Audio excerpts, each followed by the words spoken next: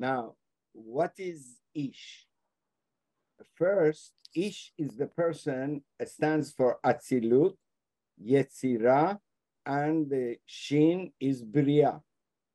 That means the person who understand there are three levels of creation called Olam Atzilut, Olam uh, Bria, Olam Yetzirah, which all three of them are above Olam Asiyah, where we really connect to the world of action.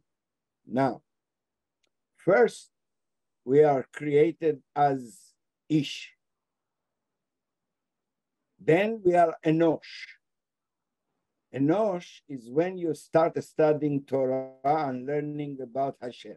So first is Ish, Ish, Anosh, Anosh, Gibor. Gibor is when you're after you when you are Ish, you learn that there are upper worlds that you have to connect to. Mhm. Enosh is where God teaches you Bina, teaches you understanding of what three worlds is. Mhm. After you learn the three words, you understand that you have a Yetzirah Tov and Yetzirah. Mhm. So you become Gibor.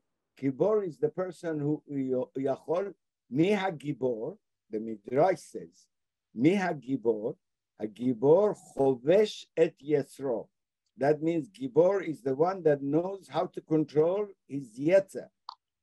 Your Yetzer is your nature.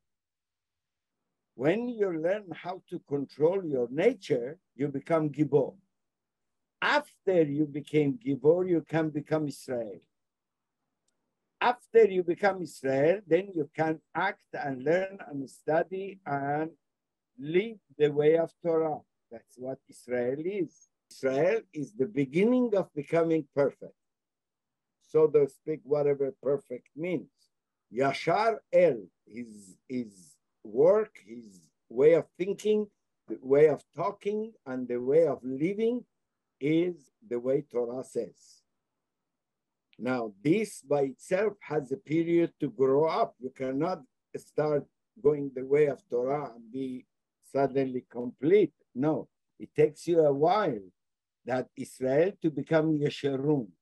Yeshurun is when you have completed your task. That means you have went through a phase, four phases of Ish, Enosh, Gibor, Israel, when you completed these four phases, then you get to the final situation of Israel to become Yeshurun.